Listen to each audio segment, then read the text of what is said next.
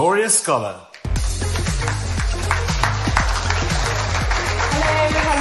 Everyone here in London. Thanks so much for joining us for day three. And thank you so much as well to those who are tuning in online via the app. Wow, I can't believe it is day three already. The final day, sadly, uh, of the London Blockchain Conference 2023. I'm still Victoria Scholar and I am still very much uh, your host as we begin uh, the final sessions of uh, the conference. And it's already shaping up to be another jam packed day. Uh, and this agenda is all about driving competitiveness and driving innovation with blockchain technology. So, set to be another super interesting day. Now, just a reminder if you do miss any of the panels, you can uh, catch up with those or, or rewatch any panels that you found particularly interesting via our app. Uh, you can find the QR code dotted around the venue and also on your pass.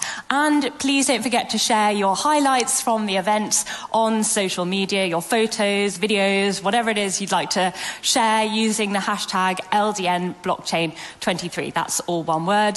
Um, yeah, so we've had an amazing agenda so far, as many of you know.